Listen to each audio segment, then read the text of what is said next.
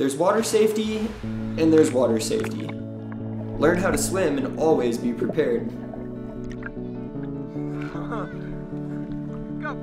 Swim sessions are starting now.